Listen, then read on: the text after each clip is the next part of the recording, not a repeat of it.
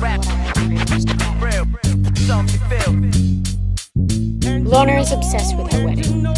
It's a big deal. Are you trying to tell me it's not a big deal? I mean, it's a big deal. This is a wedding. It's a serious wedding with like, you know, beads from here to here. This is like a veil that's going to be, you know, at least six, seven foot trailing behind her. And, uh, you know, I'm only five foot, so that's a big veil. She's obsessed.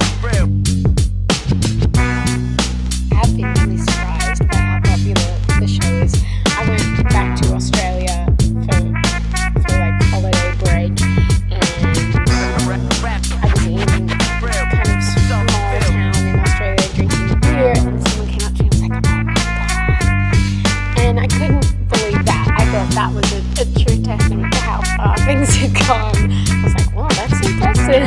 you really, you really got that. Um, so yeah, the, the,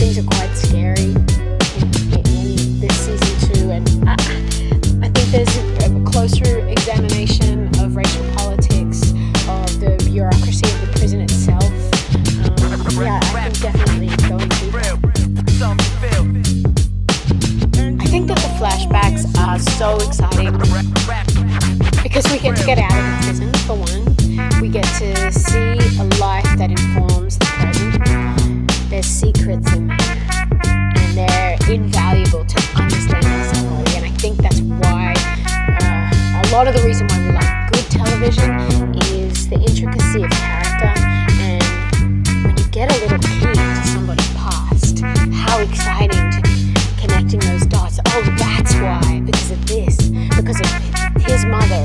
brother.